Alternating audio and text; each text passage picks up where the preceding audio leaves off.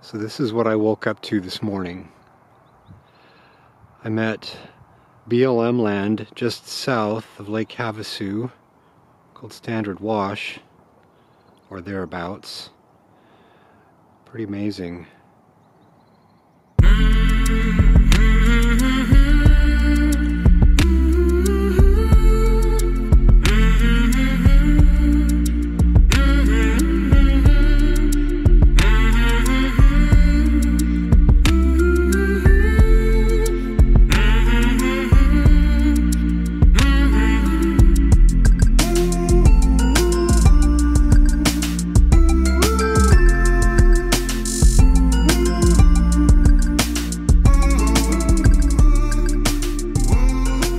Hey everyone, Chris here. Here's another quick video that I want to talk about where I'm at.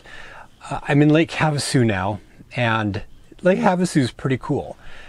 But it's a dense city, and there's no way I could stay in the city. It's just the way it's engineered, the way it's set up, just it's too much.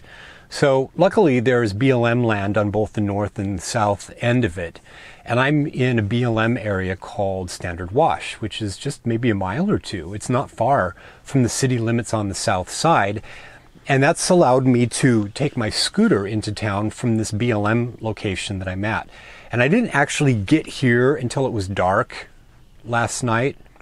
And so I got here not realizing kind of how spectacular the scenery was. So this morning I got up, walked out, and there was this spectacular scenery outside. So I got a bunch of footage of of the area this morning. And then some more I got some more footage of what the area was like this evening when I got back to, to the RV.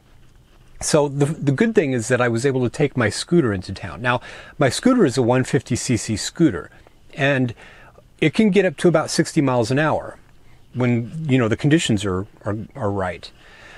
And I was a little bit nervous because the I-95 that's just connected to this BLM stretch right here is rated for 65, and there are a lot of cars charging up and down it. But fortunately, it changes to 55 and then sooner after that 45 as the city limit.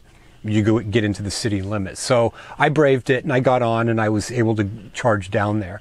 There's actually um, another stretch of, of public land called a, a, public trust land or something like that. And i was watching a video by hobotech and he talks about it and how you can get a permit and stay on that.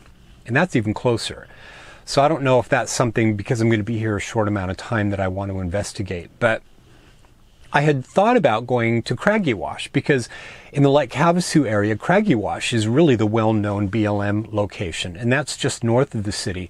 But when I was looking at it, it's farther north, and it was going to be a much kind of a more arduous trip on my scooter to get there. So my plan is to actually go to Craggy Wash and spend a day there over the weekend just so I can say that I've done it. And I think that should be really cool.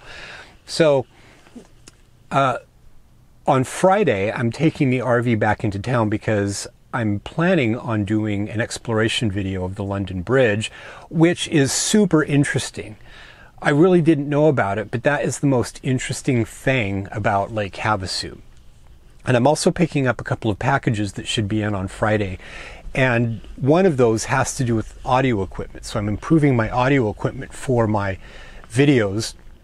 I'm getting a new lavalier mic. And this is a lavalier mic, what I have on attached to me right now. And that is then connected to the, to the camera. And that just creates better audio. Better audio than if I were using the camera's built-in microphone the built-in microphone is really susceptible to wind noise and that's been something that has been frustrating to me when I've been out and there's been wind. And like today it was super windy so there's no way I could have actually done anything outside with the cameras just using the built-in audio because there's so much wind noise. But what I'm getting is I'm getting a new lavalier mic and you would say well why not just use this lavalier mic? And this one when I got it I didn't realize that the cord the, the cord for it is enormously long so if I wanted to do an interview 30 feet away from my camera, I could use this. But it's just too unwieldy to take with me and try and connect to the camera.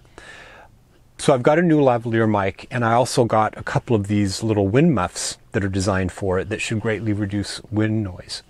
I'm also getting an external digital audio recorder that will allow me to record to that and then I can composite that audio onto the videos. And Final Cut Pro can swap those files out in a pretty much automatic way. So that's going to be cool. So I went into town today with the scooter and I ran some errands. I went to the gym. I found a water station. There's a really cool water filling station here in town. So this is pretty awesome. I've driven into Lake Havasu and I found this place that is like a water dispensary.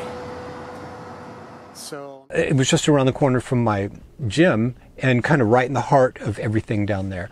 So I'm going to go fill up water there on Friday and then after that, my plan is to go up to Craggy Wash and spend a day or so, day or two up in Craggy Wash so I can say I've done Craggy Wash. And I think that's going to be a lot of fun. One of the things that I'm planning on ramping up and doing more of are these exploring videos and to really get into the art and science of, of doing really good exploration videos. And that's something I've wanted to do for a long time. One of the things that I've wanted to do is really get out and explore the world in a way that I really didn't do when I was younger.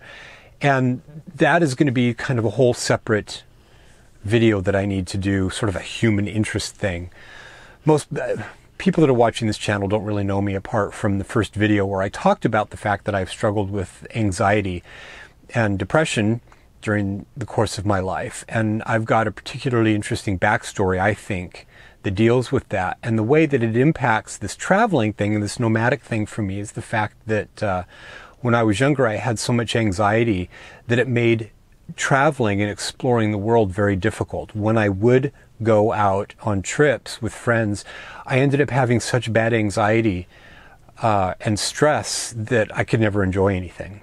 I went to to Yellowstone with some friends when I was in my early mid 30s, and it was just no fun because my my stress levels and my anxiety were just awful. I just laid in the back of the car and I couldn't do anything because I was just overridden with anxiety. Other trips like that. I'm at a place in my life now where I can do that, where anxiety that I do that I do have now tends to be more manageable. So this is something that is a positive thing for me and I've wanted to get out and explore that. And exploring the London Bridge is just one aspect of that. And I went down there on the day that I got here and just did a quick ran down there, looked at it, looked in the area, um, got a sandwich at a cute little shop down there.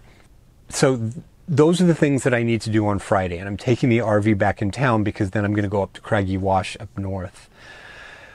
Right after that, I'm planning on leaving the area and going down to Yuma, and then from Yuma, Yuma I'm going to go over to Phoenix and try and explore as much as I can on the way over there there are some specific things over in the Phoenix area that, that look really interesting that I need to and I want to explore. So, I can definitely see why people flock down to this area because while much of the country has been having hellish winter weather, it's been relatively mild down here.